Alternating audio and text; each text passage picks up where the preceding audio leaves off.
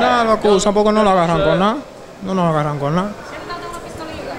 Sí, con una pistola, pero que no, la pistola es una cosa y lo, y lo que quieren explicar es otra. ¿Qué le quieren explicar? Ven, supuestamente en varios atracos, pero que no hay vaina. ¿Dónde fue que la prestaron? En la agencia pagando ¿A qué hora? a las 2 de la tarde. Entonces, ¿qué pueden decir ustedes? No, que no nos agarran con nada, simplemente que yo tenía una pistola ilegal, que la había comprado, sí, era mía, pero que no nos agarran con nada.